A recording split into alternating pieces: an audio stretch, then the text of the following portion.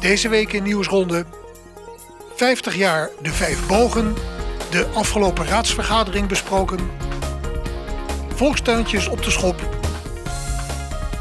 parkeren in Apkoude.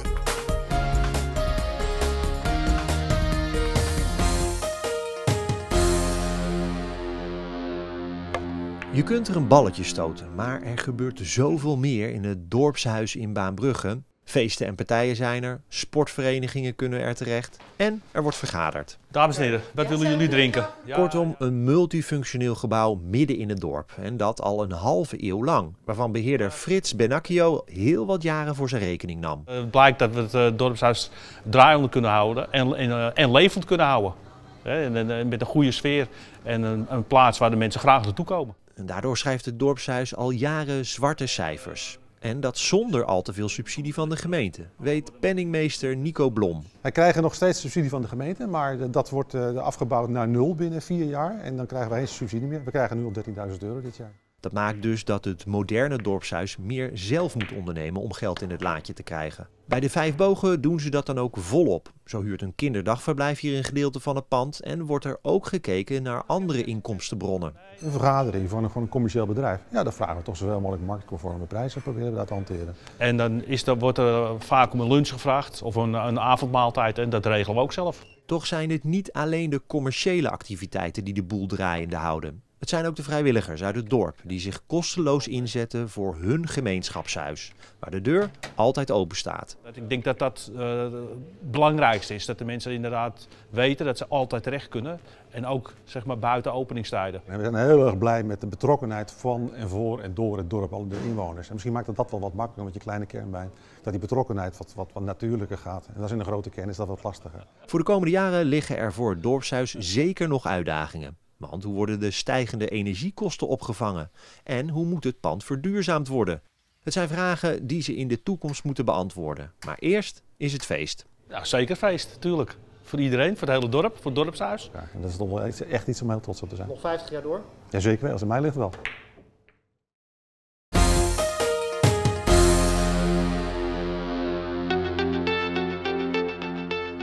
In de raadsvergadering van vorige week is weer veel besproken. Ferry en Gerard blikken terug. In het kader van het programma Rondom de Raad kijken we weer terug naar de gemeenteraadvergadering die afgelopen donderdag heeft plaatsgevonden. Samen met Ferry Mulder. Ferry, het begon met een personeelswisseling in de gemeenteraad. Eh, de fractievoorzitter van Ronde Venenbelang, Gert Luijer, die eh, moest in verband met persoonlijke omstandigheden een tijdje eh, terug, het- zich terugtrekken.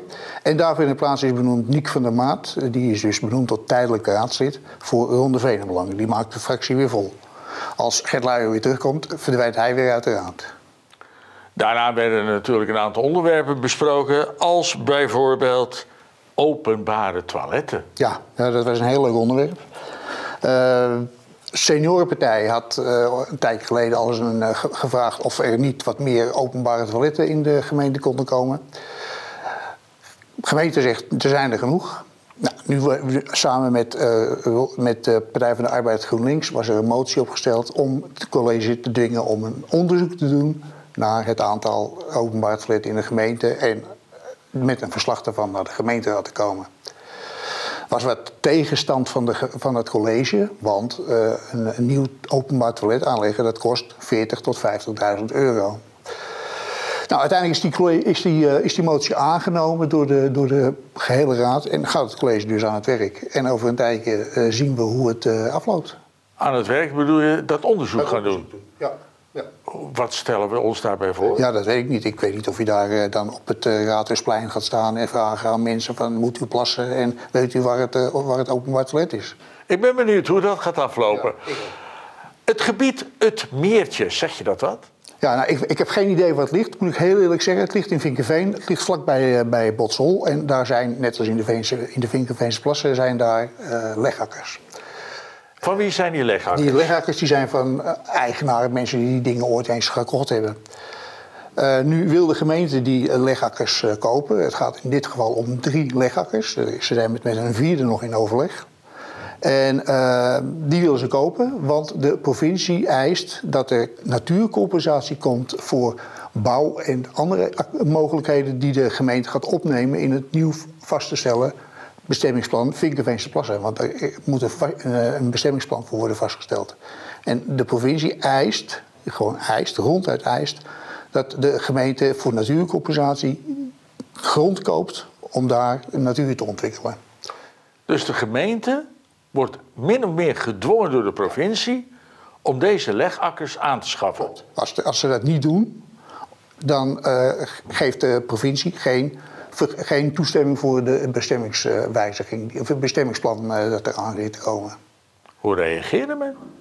Ja, het, het, werd een beetje onaangenaam op een gegeven moment. Omdat uh, Roger Fernhout van Ronde Venenblank... die bleef maar bij de wethouder uh, aandringen van... ja, moet dat nou en is het verplicht en waar staat dat? En kan het niet op een andere manier worden opgelost? En de wethouder, wethouder Zevenhuizen, die zei iedere keer... nee, het kan niet, de provincie eist het. Nou, op een gegeven moment uh, zei Fernhout ook, ja, maar dat is onzin. Nou, dat is natuurlijk, als raadslid zeg je zoiets niet. Dus werd er op een gegeven moment geschorst. En toen kwam die, na de schorsing kwam hij terug en zei hij, bied me excuses aan, want ik had dat niet mogen zeggen. Nou, het gaat de gemeente uh, 692.000 euro kosten. Het onderwerp is natuurlijk het centrumplan Vinkenveen. Ja, onderwerp centrumplan Vinkenveen en mobiliteitsplan. Uh, dat stond natuurlijk op de, op de gemeenteraadsvergadering van, uh, van voor de vakantie. En wat er nu uitgekomen is, is dat uh, de, het, centrumplan gaat door. Alleen van de 237 woningen die de gemeente had gepland, komen er maar 214 woningen. Want VVD, Ronde Venenbelang, vonden dat er in dat, uh, in dat nieuwe centrumplan meer parkeerruimte moest komen. Het betekent meer parkeerplaatsen, minder woningen en, de gemeente, en het kost de gemeente een miljoen euro, want ze krijgen minder voor de grond. Als ik het zo allemaal hoor en bij elkaar optel van de afgelopen onderwerpen, -hmm. dan moet er heel veel geld vrijgemaakt worden. Heel, heel, en het geld klotst niet meer tegen de, tegen de uh, wanden zoals het uh, een tijdje geleden was. Dus dat wordt, dat wordt wel een probleempje. Enige rare van het, van het voorstel van VVD en Ronde Venenbelang was... zij zeggen, er is, uh, er is gebleken dat er in de Ronde Venen een hoog, mensen meer auto's hebben dan gemiddeld. Nou, toen werd er gevraagd van, ja, maar waar is dat onderzoek dan? Het er wat schuchterheid. Ja, dat, uh, wij, onze kennissen, er zijn kennissen van ons die hebben twee auto's. En wij, hebben, wij, rijden, wij kennen mensen die meer auto's hebben. Dus vandaar. Dus er wordt een, een, iets vanuit de onderbuik en vanuit de kennissenkring... wordt dus aangenomen als echt onderzoek. Nou, als we op die manier gaan beginnen, dan... Uh, bespaar je heel veel geld in onderzoek. Bespaar je heel veel in onderzoek en krijg je allerlei onzin dingen. Uh, wat staat er te gebeuren voor de komende tijd?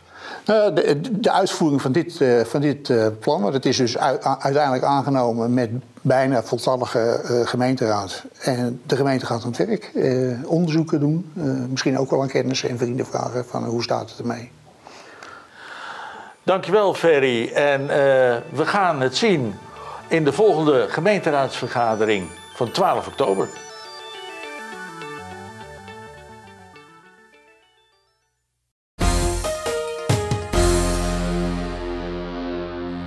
Je op de N201 rijdt, zou je niet vermoeden dat achter deze parkeerplaats een groene oase ligt. Het volkstuincomplex van Meidrecht. Waar je al binnenkomt in een prachtig stukje park met al die prachtige zomerbloemen. Agnes de Bruin verbouwt hier al een halve eeuw haar eigen groenten en kweekt de mooiste bloemen. En dit is mijn domein, waar ik heel blij mee ben. De voldoening die het geeft om hier bezig te zijn en het resultaat te zien. Of dat nou goed is of niet, dat maakt eigenlijk niet uit. Je hebt je best erop gedaan. En tussendoor maak je ook nog eens een boel vrienden met dezelfde liefhebberij. Mag ik je uitnodigen op mijn terras? Ik werk in de thuiszorg. Ik vind het best een zwaar beroep, zowel geestelijk als lichamelijk. En hier kan ik mijn hoofd leegmaken. Ik, ik, ja, ik kom hier tot rust. De rust wordt nu bruut verstoord, want de tuinders moeten hier weg. Dat zat er sowieso aan te komen. Deze bocht wordt namelijk verlegd en gaat over een klein deel van de tuinen lopen. En op termijn moet er hier een bedrijventerrein komen. Onlangs heeft een projectontwikkelaar de grond echter gekocht en die wil er veel sneller mee aan de slag. Per 1 november wil hij dat de tuinders weg zijn. Ontzettend jammer dat dit verloren gaat gewoon. De projectontwikkelaar heeft een andere locatie in bezit waar de tuinders naartoe kunnen. Een stuk verderop tussen Vinkenveen en Wilnis. Maar naar die plek willen Agnes, Mariska en vele andere tuinders niet. Het is te ver weg, zeggen ze. En er zijn meer nadelen. De kans is heel groot dat er dus lood in de grond zit. Ja, daar kun je niet van eten. Helaas. Daar kun je alleen maar mooie bloemetjes van laten groeien, misschien. Die andere locatie, zou dat een optie zijn voor u? Ehm, de Korenmolenweg vooralsnog niet. Vooral omdat ik nu zo'n heerlijk huisje heb en een kas heb. En dat mag je daar niet neerzetten. En dat zou ik heel erg missen. Er zijn ook tuinders die twijfelen. Misschien wel op een Kijk, andere er plek opnieuw willen beginnen. Maar voor Agnes en Mariska is het duidelijk. Met het verdwijnen van deze tuintjes raken zij hun geliefde hobby kwijt. Ja, ik zal het missen. Ga ik andere hobby's vinden? Ga ik andere mensen hun tuin doen? Dat is niet hetzelfde. Ik heb geen idee. Ik zie het als een groot gat. Wat komt. Er zijn momenteel gesprekken gaande tussen de projectontwikkelaar en de gemeente. Want die laatste moet überhaupt nog toestemming geven voor een nieuw aan te leggen volkstuinencomplex.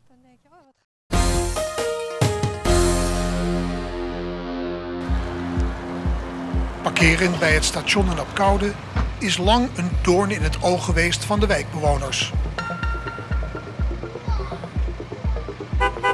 Nou, dat probleem dat speelt natuurlijk al jaren. Sinds het station hier kwam, er kwamen steeds meer auto's. Het sporthuis kwam erbij.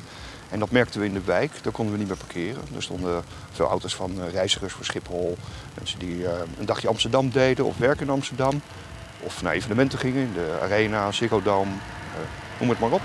Ik liep hier op een avond met mijn hond. Ik kwam Serge Krijkamp tegen, raadslid. Hij was zelf naar een wedstrijd van Ajax geweest. Hij deed zijn raam open en eh, zei tegen me, wat is hier een chaos? Ik zei, nou, dat is eh, eigenlijk eh, altijd als Ajax thuis speelt. En ik vroeg aan hem of eens mee te tellen hoeveel auto's er hier vertrokken. En ik denk dat we op 60, 70 auto's zaten. Dat was op een doordeweekse avond zo rond 11, half 12. De, de, de wijk heeft al ehm, eh, best wel wat jaren eh, overlast van de parkeerplaats en eh, van de reizigers. En daarbij opgeteld de bezoekers van het sporthuis. En eigenlijk zou dat hand in hand moeten gaan. En die voelden zich niet gehoord eh, met hun parkeerproblemen. Het is allemaal natuurlijk openbaar, dus het mag. En het werd in eerste instantie opgelost door het parkeerterrein te vergroten. Dus er kwamen nog 70 plekken bij. En die eh, stonden ook binnen de kortste keren vol. Met nog meer auto's van eh, reizigers, et cetera.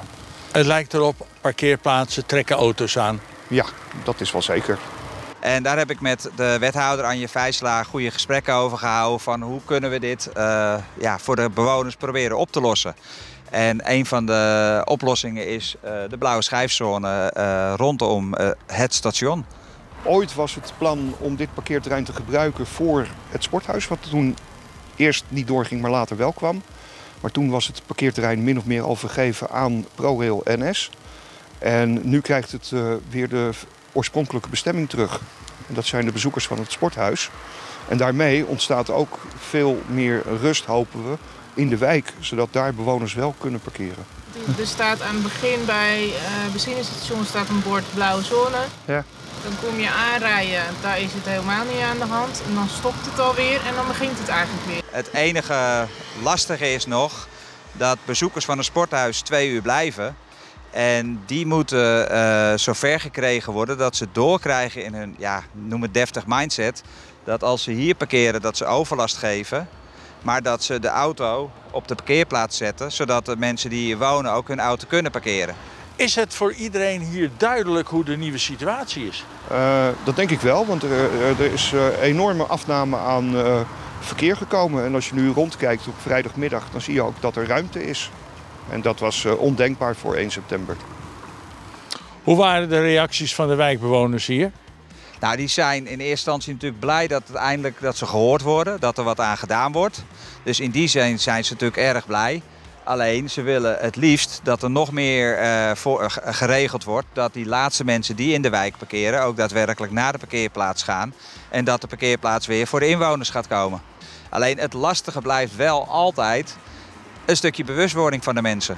Heeft u de indruk na al deze maatregelen dat het probleem is opgelost? Nog niet helemaal, maar we zijn op de goede weg. Uh, nog wat puntjes op de i. En dan denk ik dat ja, we als wijk ook wel blij kunnen zijn.